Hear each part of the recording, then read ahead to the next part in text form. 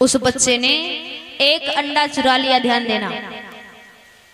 और जब चुराया तो महाराज लेकर के घर आया।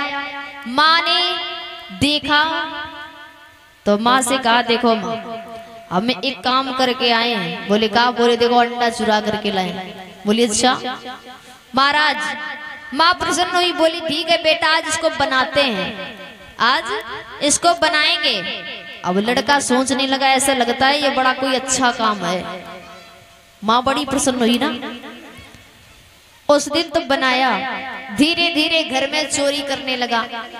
अब किसी के घर जाता, कहीं कुछ ले आता, कहीं कुछ ले आता।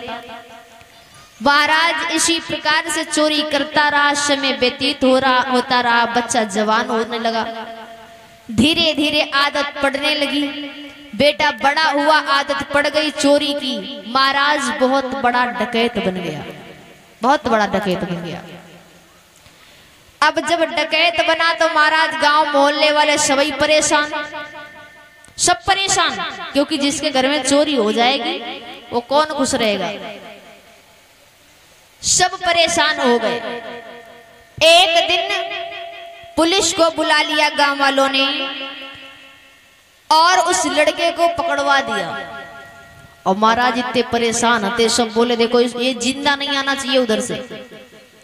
सभी के घर बर्बाद कर रहा है, ये ज़िंदा नहीं आना चाहिए। महाराज, उसको सजा सुनाई गई, सजा में बोली गई फांसी।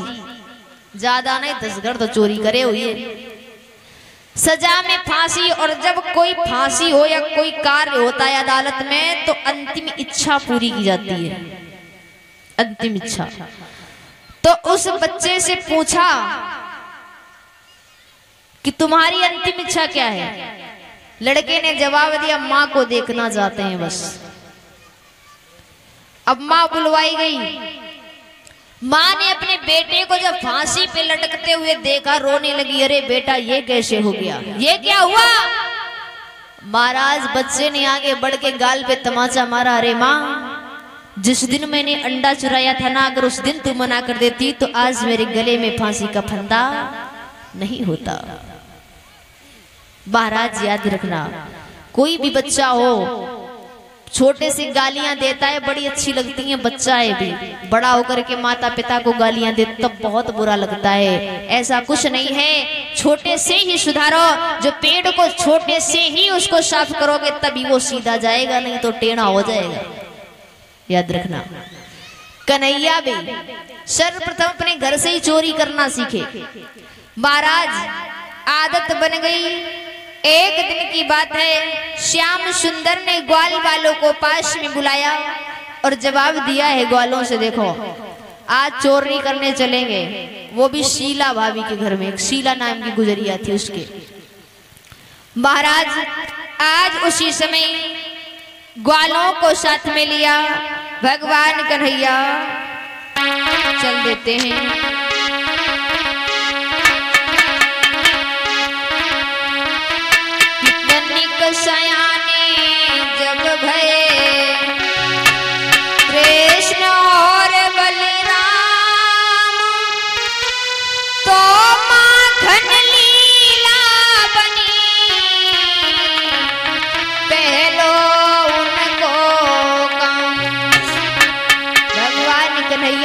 सबसे पहले माखन की चोरी करते हैं। ग्वालों को साथ में लिया चल देते हैं। ग्वाला कृष्ण हंस चल दी ने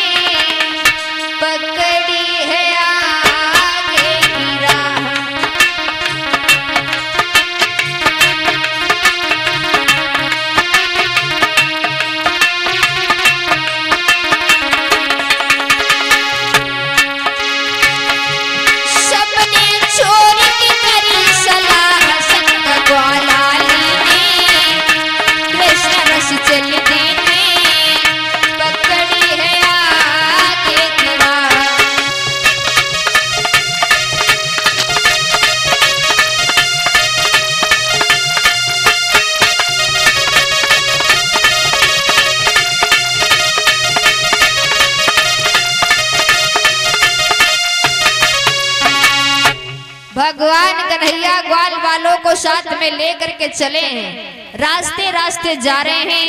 महाराज, आज उसी समय जा करके पहुँचे गुजरिया के महल में, यानी शीला के घर में। देखा, घर में तो नहीं है, लेकिन जिसमें मक्खन रखा है, वो मटकी बड़ी ऊँचे है। अब क्या हो? कैसे इस मटकी को उतारा जाए? महाराज, आज उसी समय दामा बड़ा चतुर बताया गया। दामा ने जवाब दिया कन्हैया। कैसे चोरी करियो